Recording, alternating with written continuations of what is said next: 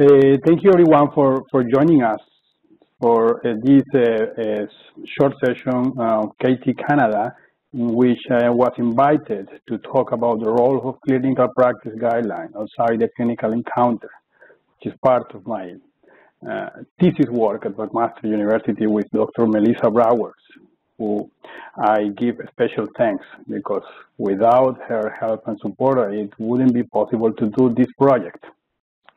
So, um, uh, as Megan said, I am now located in Colombia, but I've been traveling back and forth between Canada and Colombia, and uh, my focus of the focus of my research is about how guidelines uh, can be used or are used in different scenarios outside the clinical decision, outside the clinical encounter. So this is what I'm going to talk to you about in the following slides.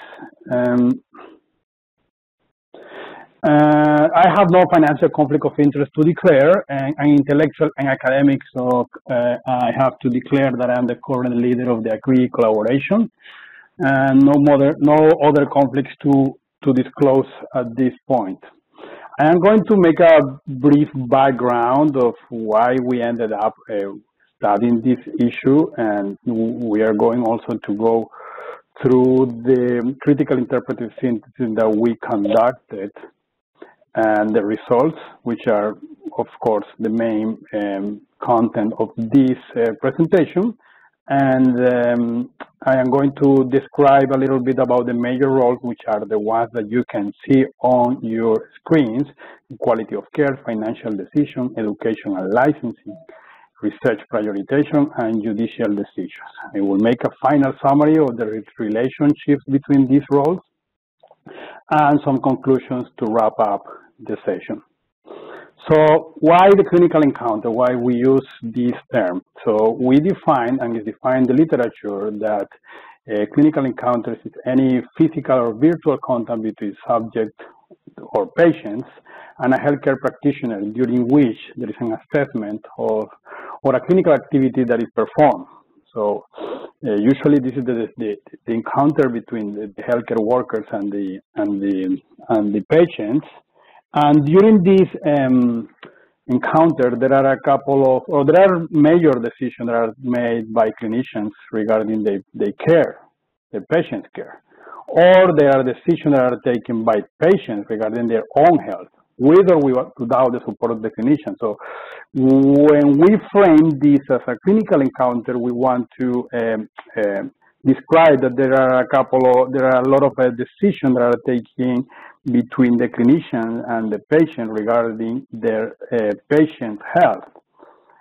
So there are other decisions and other activities that occur outside of this clinical encounter that may or may not affect that clinical environment that are performed by different stakeholders and they are considered outside of the clinical encounter. So we are talking about all these kind of decisions that are related or are, that are made in a health systems and um, in any health system from a health management point of view or even legal decisions that are indirectly related with the clinical encounter. So when we talk about clinical encounter, we're focusing only on patients and clinician decision and any other decision that occurs outside of this level but could directly or indirectly affect that clinical encounter, those are those were the decisions or the the the, the scenarios that we were interested in. So what we know that the clinical practice guidelines support clinicians in making clinical decisions. We know that. That is the main role of clinical practice guidelines. All the decisions that are taken at, at the at the clinical or the micro level uh, that is the main focus of guidelines. So the adoption of guidelines by these clinicians, we know that it is not perfect, but they are, to some level, to some degree, guidelines are used by them.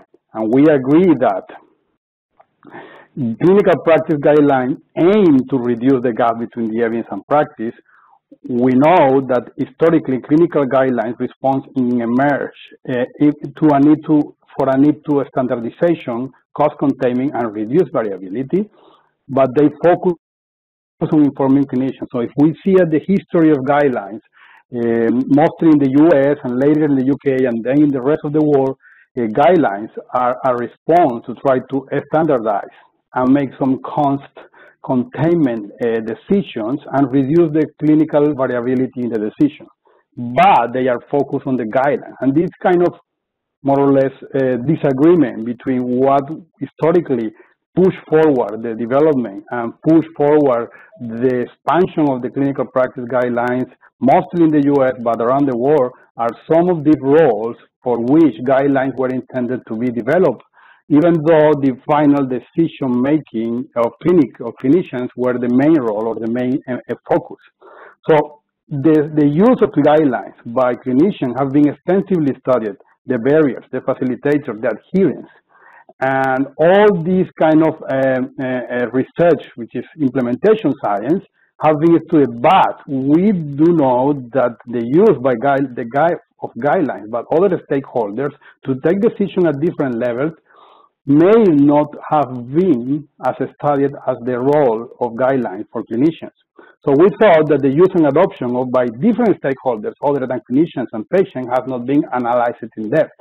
So what we didn't know, what we don't know, we, what are the roles that guidelines could have outside the clinical and patient decisions, how guidelines are playing this role, are guidelines good tools to inform decision outside the clinical encounter, should we use guidelines for those decisions or should we just create different tools that could inform those decisions and leave guidelines only for clinical decisions? Or, or maybe guidelines should be uh, modified to, to, to make them fit better into this role, that's what we don't know. So we uh, uh, design a critical interpretive synthesis, which is a, a comprehensive systematic reviews uh, to try to uh, identify from the literature main concepts, themes, and topics, and to create a theory about uh, a specific question. So our aim was to understand how and under what conditions guidelines are used in areas beyond the traditional clinical encounter for decision making. We conducted this critical interpretive system previously registered at the Prospero Systematic Review database. We made searches in the major databases. We also did uh, searches in grey literature, and we included studies that discuss the potential roles of guidelines in different contexts. We didn't, as happens in these critical interpretive synthesis studies, we didn't uh, Uh, limit for a specific study design. We included all the literature regardless if they were research papers or non-research papers. We did an, a synthesis of the data, and ag aggregating the data and also interpreting the, area, the evidence that we found, and we developed an explanatory framework of how do we think guidelines are used for this kind of decisions. This is the summary of the results. And we included 220 studies after making a comprehensive review of almost 20,000 papers. And um, finally, we included 220. Most of the evidence, most, more than half of the evidence came from the US. And then the second most um, productive country in terms of this evidence was the UK, then Canada, the Netherlands, and Germany, which traditionally have been major players in the guidelines, enterprise in researching guidelines. Uh, we found evidence from 1987, mostly to 2019. Most of the of the literature came from this range time uh, time time frame. The major roles that we identify in the literature uh, can be summarized in these major roles. The quality of care, coverage and reimbursement decision, health professionals, education and licensing, research prioritization, and judicial decision. There are other roles that are not very well developed or at least not very well reported or described in the literature that I will go through them and they don't have too much evidence uh, uh, or too much uh, papers about, that discuss about them. The first and the most important, um, the most familiar role for many of you would be the role of, uh, of guidelines in taking decision about quality of care at different levels of the health system. This is the most common role outside the clinical encounter and the, uh, to support decisions that are aimed to improve the quality of care. So improving quality is consistently mentioned as the main benefit of guidelines. We know that. And when we describe all the benefits, it's always the quality as the, a major factor in why guidelines exist. This is even by the literature part of the reason why the guidelines had a, had a huge expansion in the United States in the 90s. Early, uh, the, uh, by the late 80s and early 90s, there was a huge expansion of guidelines. Uh, the production of guidelines increased uh, substantially, uh, mostly by professional societies. And one of the major factors that historically in the literature is highlighted as the reason for that was the need for regulating the quality, for increasing standardization between physicians. So what is the rationale for this? It's, it's pretty straightforward. If we have best evidence, we, we, we, we think that we're going to have best, the best quality of care. So uh, within the quality of care, we um, uh, found um, several roles, and we can group them in these three major ideas.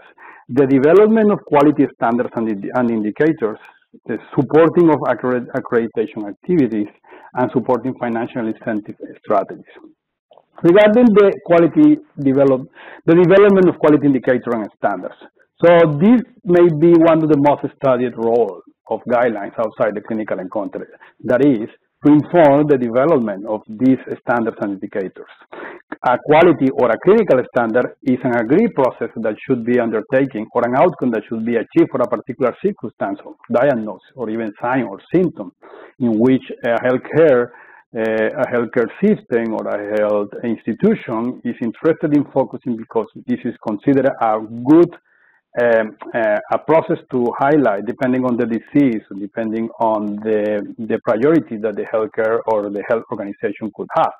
Quality indicators are, as, as its name says, are indicators that are defined as explicitly defined and measurable items which act as building blocks in the assessment of care.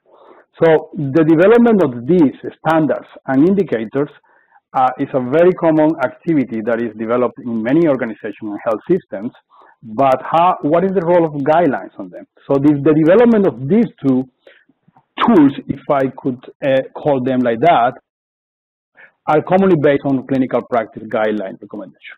The two major approaches to this is that guidelines could have an implementation section, and that is what, what we what we expect that a high quality clinical practice guideline could have in the, the main manuscript is that the guidelines come with an implementation section and implementation chapter that uh, in which, sorry, in which uh, the guideline development group is recommending what to do to, to enhance the implementation of the guidelines.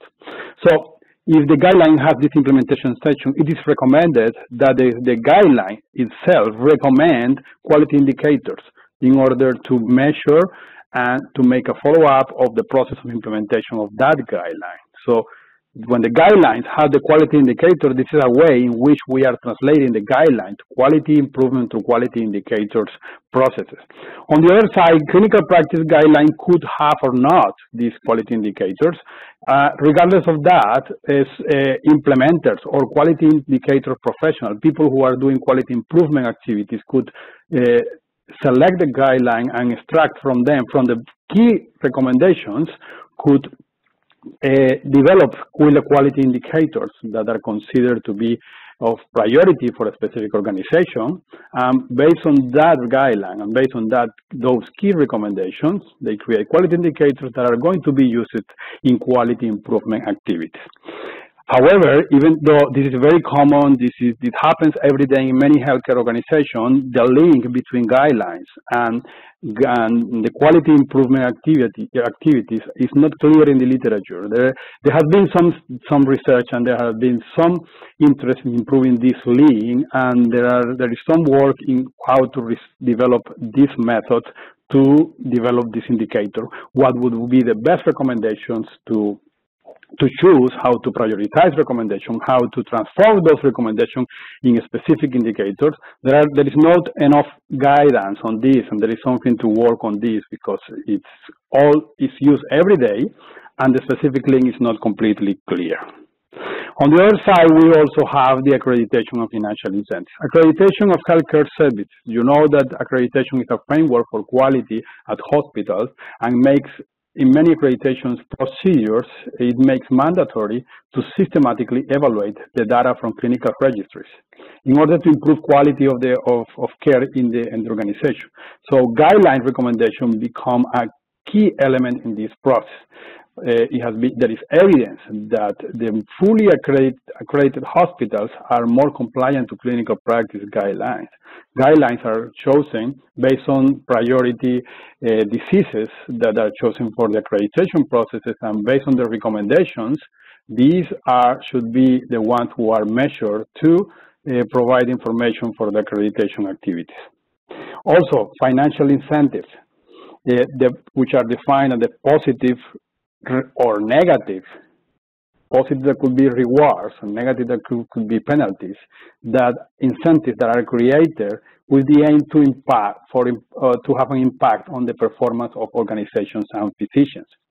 Uh, financial incentives have been very established and are used everywhere, but there have been a lot of interest and a lot of discussion about their appropriateness, uh, mostly in the U.S. The well-known pay-for-performance uh, activities have been used uh, uh, for many hospitals in the U.S. in response in response to the increase of healthcare costs in the 90s. So recommendations are used as benchmarks to define the ideal care.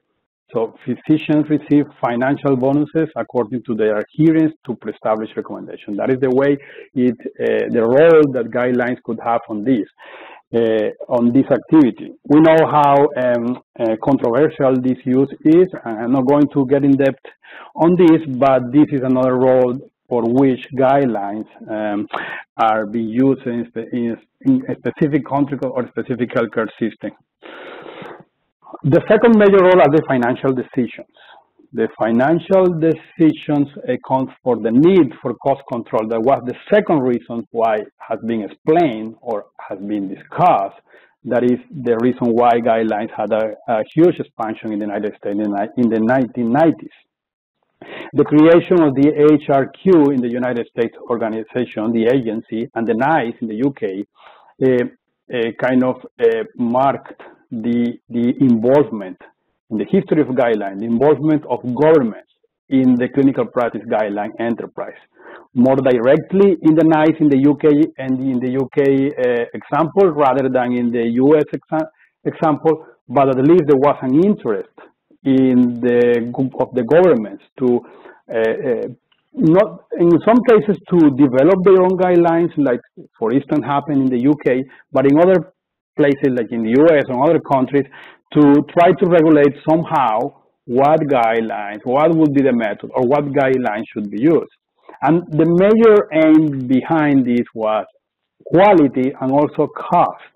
And we're going to make a discussion in the next slide about how cost or how guidelines may play a role in the in the in the, in the expenditure, healthcare expenditure. There are at least two ways in which guidelines can be used in these decisions for coverage and reimbursement decision and for healthcare rationing and controlling cost.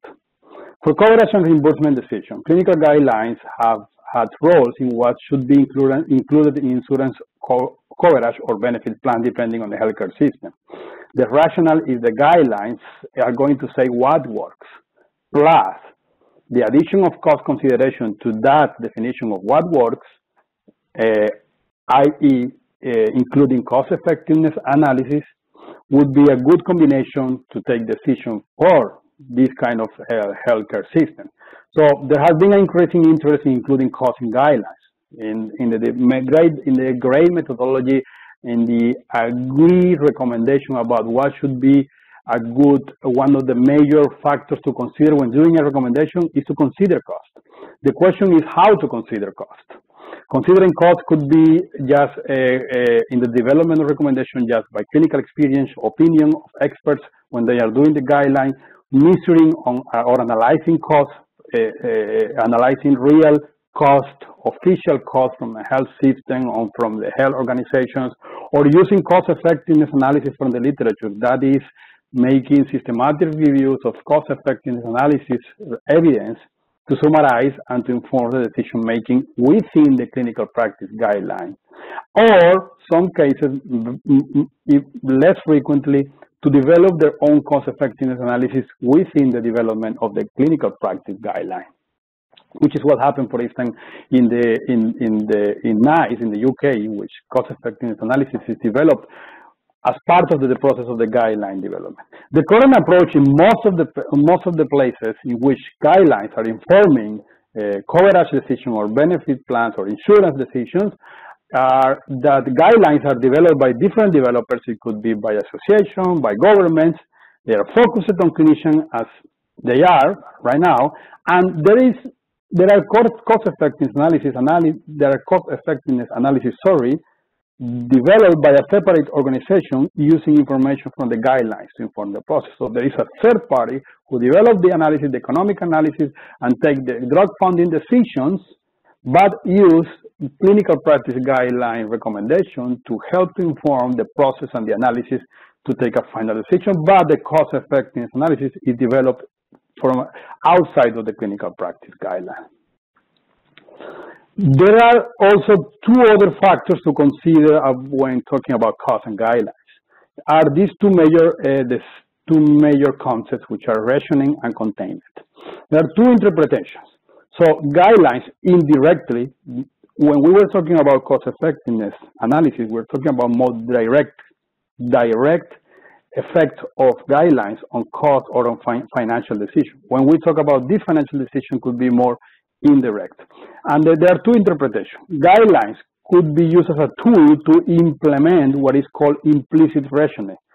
This is a positive concept, of, concept about efficiency.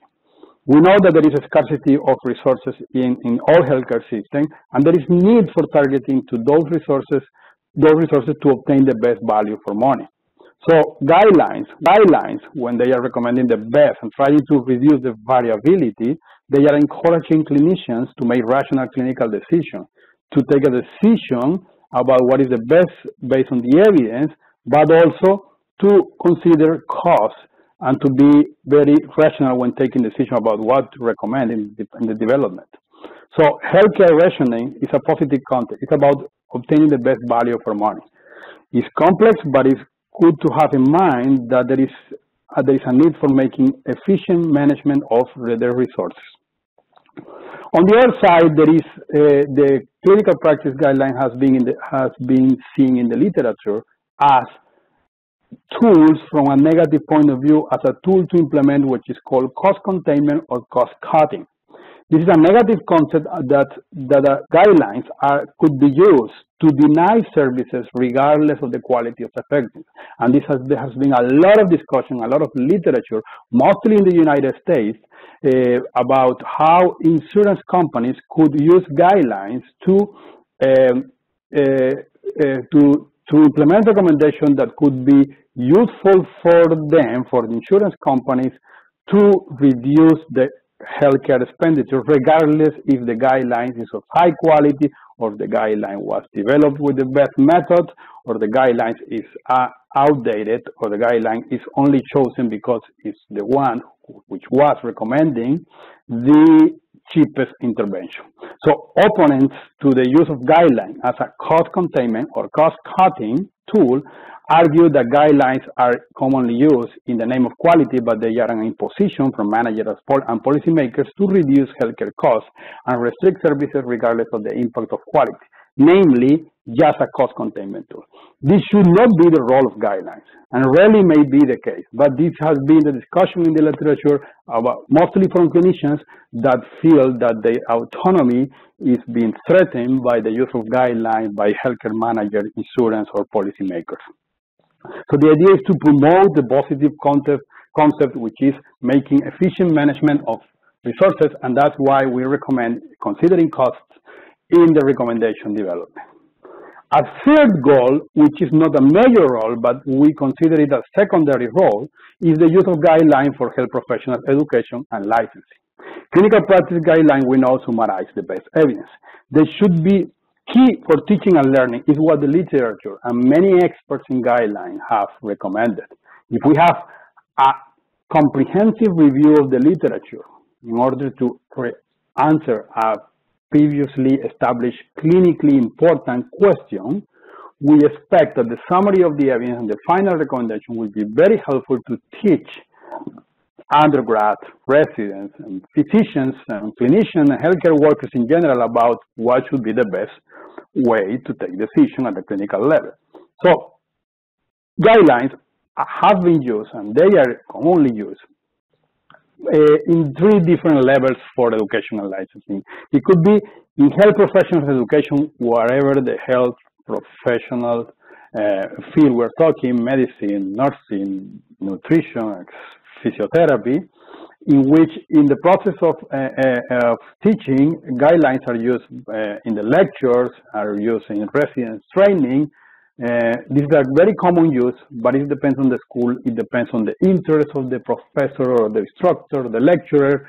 So the, um, it's not a, there is not a specific protocol or there is not uh, there is no way to know that they are used in all the um, education settings that we would like, considering all the process that, are, that is behind a guideline, the evidence synthesis, and what we expect a good quality of evidence synthesis and assessment, we would expect that they would be more used. But we don't have evidence of how much they are used for lectures and residence training. There are a couple of literature, there is some literature, but uh, that say that they have been used, but there is not specific guidance on how they are used.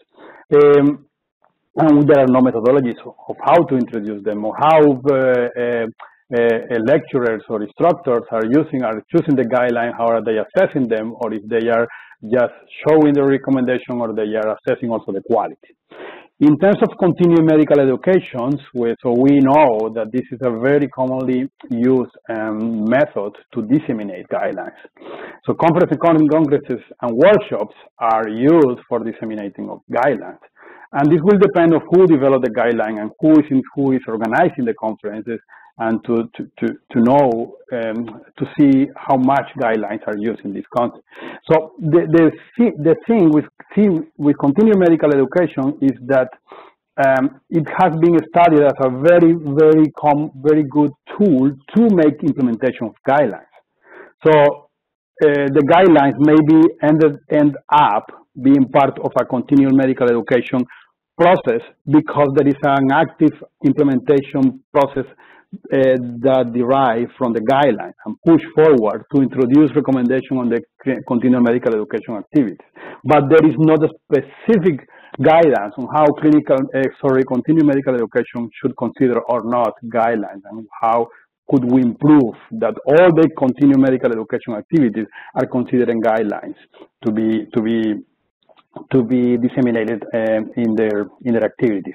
And finally, licensing and maintenance of certification. We know that there is the maintenance of certification processes in North America that is based on web-based modules. Um, they are most of, many of these models are developed based on clinical practice guideline recommendation. We found that the literature there are not good methodologies of how to link the recommendation to these efforts or how to improve the communication be between licensing and maintenance of certification process and guideline developers. Research prioritization was the fourth, the fourth uh, role that we found in the literature. Very interesting role, I could say, one of the most most interesting from my side, which is, uh, I would think, uh, a role that could have a huge impact, and I think it hasn't been studied, at least in the literature, we didn't find enough evidence of how we could improve the link between, between research prioritization and guidelines. So because guidelines summarize the best evidence, thus we think the guidelines are, or are going to be the best tools to identify research gap.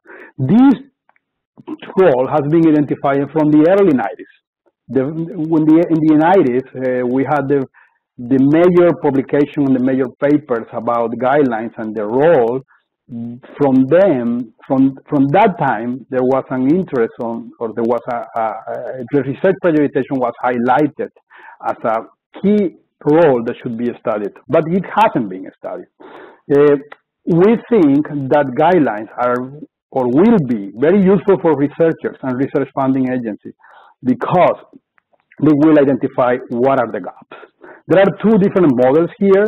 Uh, one would be generating a list of research priority that would be in post-publication.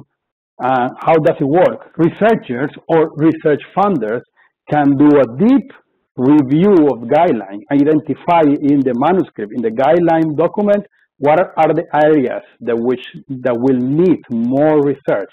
And in this case, their funders or the researchers are prioritizing based on the recommendations, usually focus on those recommendations that are of low quality or have weak, weak recommendations because they are weak or they have low quality because usually we will need more uh, evidence on this specific question, on this specific field.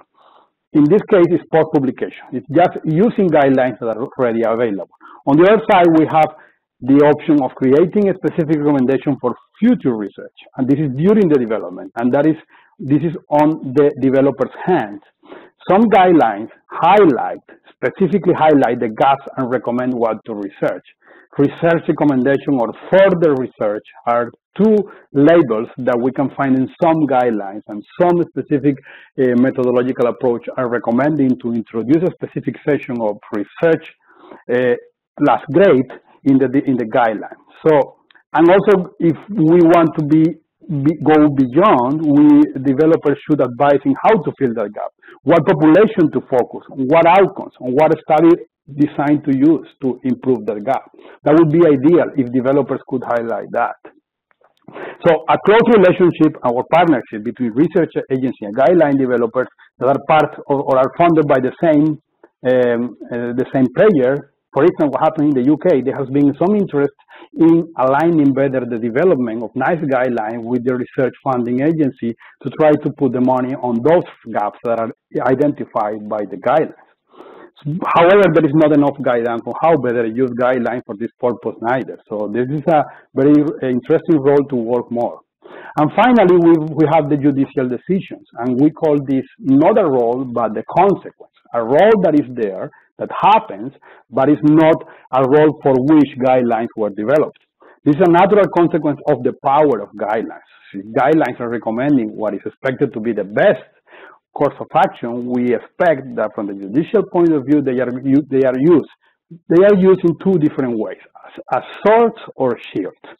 As swords, it means that they are used as inculpatory tools, in which the guideline is used as a sword by the plaintiff to prove that a physician has deviated from what should be considered the standard. In this case, from the judicial point of view, the standard is considered the clinical practice guideline recommendation. From the other side, the exculpatory tools, it could be used as shields, in which the physicians, the physician, uh, the defendant physician can use the guideline to demonstrate that they follow the standard of care in, the, in a judicial process. So the guidelines are used as evidence in this decision, and this use has been very controversial. There is some literature about this, about the benefits, about the, the cons, and the issue is guidelines are not mandatory. We know that. So it's bad. It's being accepted that clinicians should be aware of the most accepted recommendation. And deviation from the recommendation could be could occur, but they should be supporting a convincing rationale. And that is what uh, what that is the main discussion what happened in the judicial decision use of guidelines. Although this rule has been described, there is no clear guideline how they should be used or if they should be should continue to be used. Of course, there are people against this, but also people in favor because a physician that made the things like we could say well, they could use the guidelines to defend themselves. Other roles that were in the literature that have interest for health managers or health service decisions uh, is supporting policymakers in deciding how to allocate resources, supporting decisions of where to spend money by bringing attention to new services recommended, making changes in the healthcare service, considering the recommendation, certifying services in a specific disease management or according to the use of guidelines, or identifying fields or gaps for the development of health technology assessment um, um, process. So in summary, the main goal of guidelines, of course, the clinical encounter, which is the blue, the blue circle that you see here, which is the most important focus of guideline, but depending on the healthcare system, the funder, or depending on who is using the guideline, there could be some uses in the orange and the green uh, circles that you can see here. So the two major additional roles, additional to the clinical encounter decision, are all the decisions to improve the quality of care at different levels of the healthcare system and financial decisions. And of course, it depends on the healthcare system and the structure to see how much guidelines are used, uh, if there is one payer, if there, if there is insurance, whatever the healthcare system is organized, guidelines could play a role also in this. And as you can see, they are closely, closely interrelated because decision at the quality of care level and financial decision could have an impact on clinical encounter decision and vice versa. And this uh, uh, figure kind of summarizes how clinical practice guidelines are in the middle of this black circle and how the role that I described could have an impact on the decision. The final physician and patient decision is the core of this uh, process in the healthcare system, and we know that. This kind of decision and this relationship is the most important element. But clinical practice guideline could inform quality of care decision at different levels, and this quality of care will have some impact on these uh, physician-patient relationship, clinical encounter. On the other side, the guidelines could have uh, some decisions that have impact on cost, and they also, this decision will have impact on the decision that the clinician is going to take. Uh, and minor roles are the clinical, the medical education, the CME, in which guidelines could inform this and the continual medical education and education itself will have an impact on physicians. Also, the cost effectiveness analysis and the HTA agencies could use guidelines to inform their process, and these processes are going to have an impact on cost, and they will indirectly have some impact on the decisions at the clinical encounter. So guidelines at the same time will have the possibility of informing or making, uh, uh, identifying research gaps that will increase, that will um, um, will trigger some new research that will increase the research knowledge. And at the end, the research knowledge is the main um, factor that uh, uh, feed the clinical practice guideline, but also um, this knowledge could be used to improve the quality, but also could be used to improve the method of clinical, sorry, of cost effectiveness analysis, and also the research knowledge that could be derived could be we could obtain from guidelines could also inform the cost decision.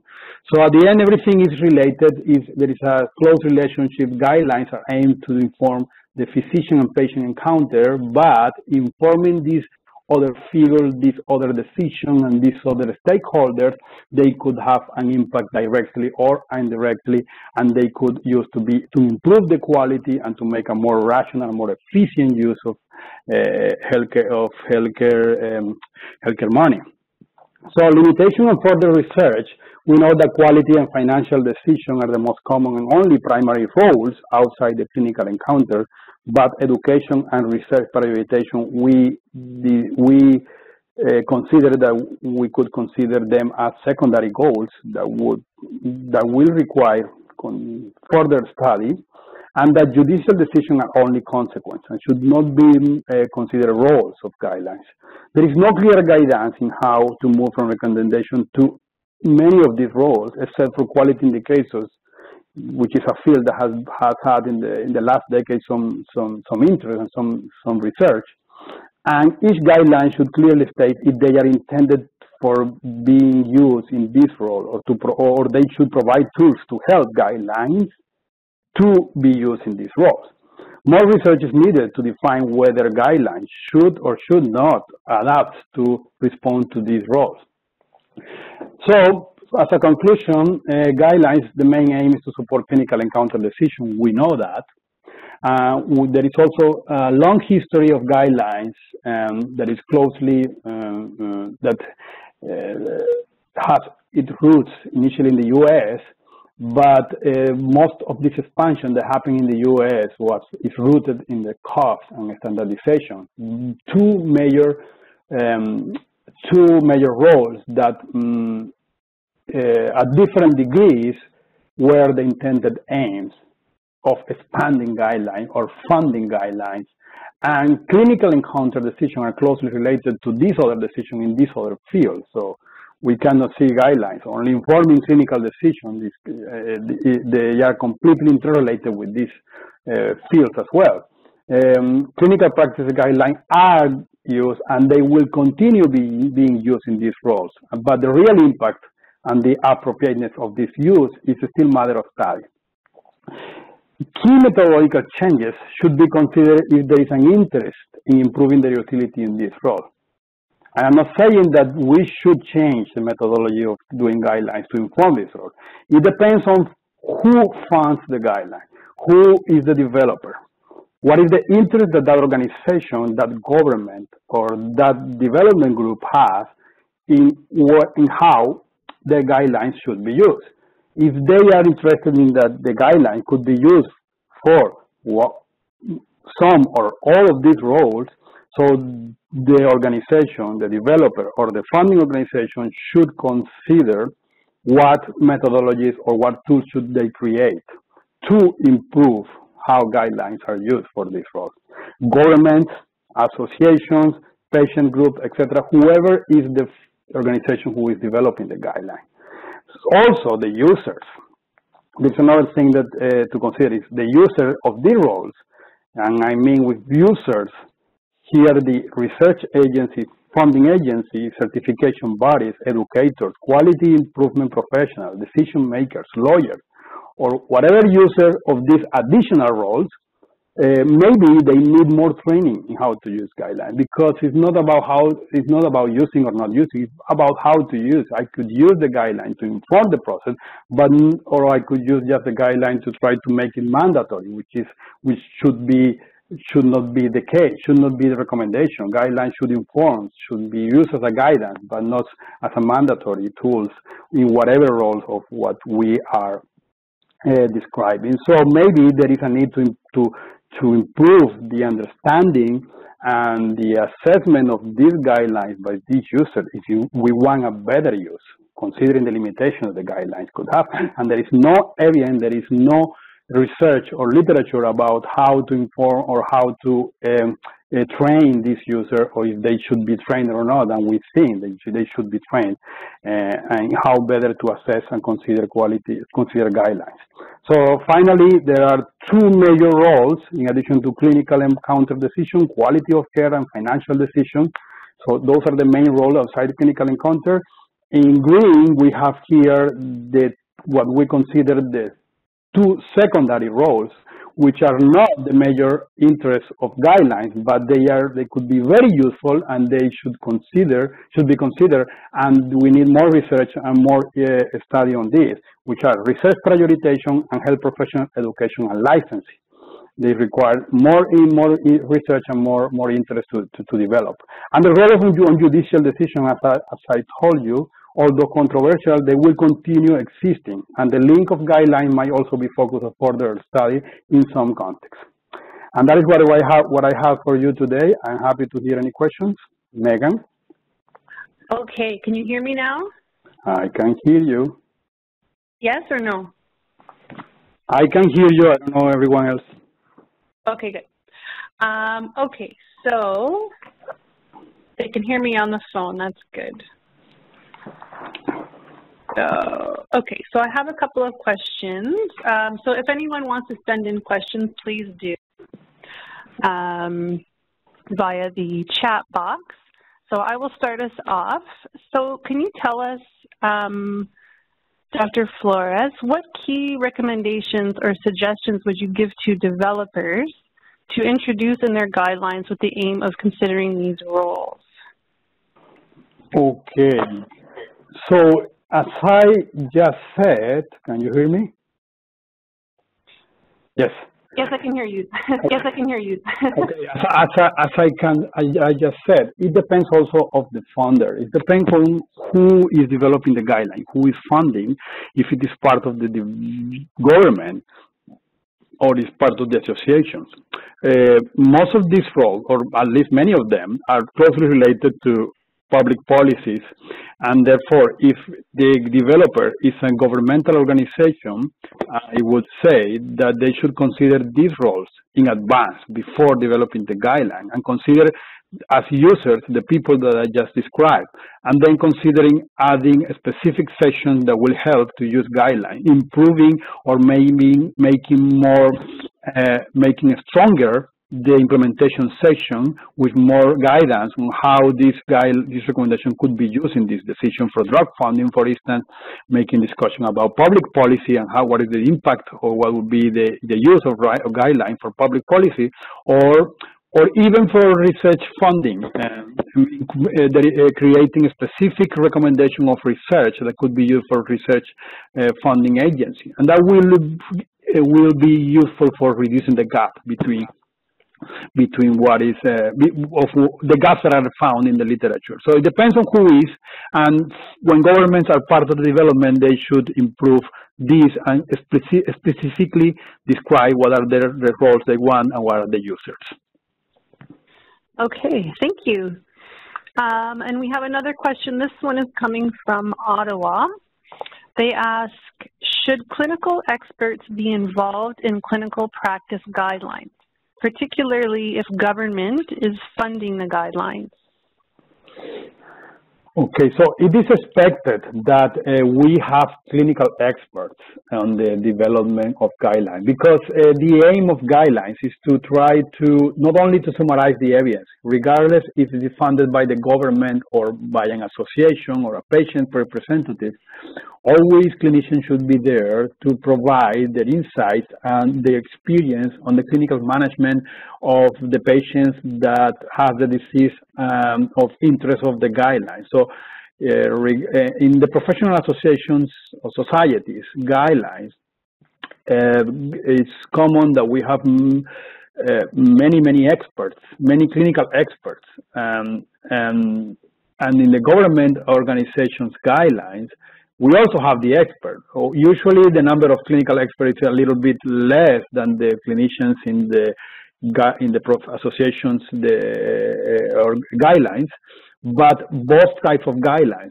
associations or government funded, they should have clinical expert always because it's the only way to provide their insights or their experience in the clinical encounter decision because at the end, as I show you, uh, regardless of the interest, a clinical practice guideline, the final aim is to inform the clinical encounter decision. So there should be experts of every field which is involved in the management of this kind of patients. Every an expert of every field should be uh, in that guideline development group. Okay, thank you. Um, and another question here. Uh, which one of these roles do you think should be a priority to focus on in Canada? So Canada, for instance, is very different from other developed countries, and the UK has been a leader in the process of guidelines. We know that NICE has been a leader, but NICE is a government-funded organization which creates guidelines for being used in the healthcare system. In Canada, it's completely different, and we have federal and provincial levels, and there are different uh, developers, and there is not a specific just one single organization developing guidelines, as happened with NICE in the UK. So the, the focus will be different. However, one of the major things that I found in the literature review is that this focus on research prioritization could be um, could be something that requires further research and hasn't been appropriately used. So I think that it has been underestimated and there is a lot of information there in development. So I would think that for Canada, one recommendation could be to uh, check and closely uh, review clinical practice guidelines to find what are the gaps in the guidelines that are available to identify what are the gaps that have been found in the literature by the development, by the development group, and to focus the research funding, let's say, for instance, CIHR, to focus the research funding in those gaps that are identified or highlighted in the clinical practice guideline. That is a huge field of research that I would think would be a good focus for Canada. Okay, thank you. Um, all right, I don't see any additional questions at the moment. Um, we'll just give it maybe one more minute to see if anyone has anything else they want to ask. Um, while we're waiting, I will just go over a couple of things. So thank you everyone um, for joining us, and I apologize. My computer seemed to be a little bit uh, wonky today. I don't know if it was WebEx or my computer, but it seemed to be, um, the phone line seemed to be working, so that's, uh, that's a good thing. Um, okay, and I will interrupt myself now uh, for another question. So they ask, were any clinical practice guidelines found that you consider an ideal model of all of the factors you identified? Sorry. Um, uh, we didn't search a specific clinical practice guideline. We only search and review literature from editorials, narrative review, discussion points, and research focused on what should be the role of clinical practice guidelines. And we extracted from there what were the roles outside of the clinical encounter. So it was a comprehensive review, but focused on literature about guidelines. We didn't review clinical practice guidelines, but I could say from my experience, working of guideline for more than 10 years, I would say that there is no perfect guideline for sure, not even from the methodological point of view, and also neither for these roles. I don't know if guidelines should have a specific um, uh, detail on these roles. At least they should say who should use and who shouldn't use the, the guideline. They should be very clear. And as I, as I told you, it depends on the funder. But I could say that the guideline that kind of um, consider or uh, um, uh, most commonly consider or use it or describe a little bit of these roles in the process were the NICE guideline, the guideline from the NICE in the UK. Uh, for instance, uh, uh, not only because the implementation section and implementation chapters of the guidelines are very strong and provides a lot of information of how to implement the guideline in the in the NHS in the UK, and they consider all these other roles. Also because they are also providing research priority uh, uh, gaps, uh, sorry, research research priority or research recommendations, which is also good to have a guideline that also not only give recommendation but also provides recommendation for further research. And this work that has been uh, uh, occurring in the UK in the last five years, trying to align guidelines with research funding agencies, that is very, very important and that will be very helpful for not only for improving health, health uh, the quality of healthcare, which is the final aim of guidelines, but also to use guidelines to to to reduce research waste that is happening in, in, in, in, research in healthcare. So when they are recommending to focus on this, we should uh, the research agency should focus on that. So NICE guidelines are also doing a good work in integrating or in linking the, the guidelines with the research funding. I don't think that they should go beyond that. It's part or is the is the aim of the research funding funding to use the guideline however they think it, they should and it is not part of the guideline development group to to say how to spend the money but they should at least highlight. So NICE guideline are a good example of considering at least some of these roles. Okay. Thank you and we had a comment come in from Jamie. He, he uh, chatted this to everyone, so everyone should be able to see it.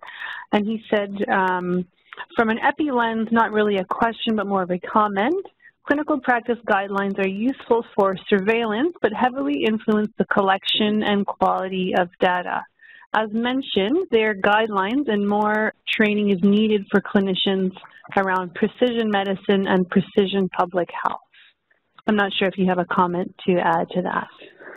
Uh, that is very, very useful uh, from Jamie because uh, that is from the EpiLens. And um, uh, we didn't find specific uh, literature about the use on surveillance. I suppose that is going to be useful for sure.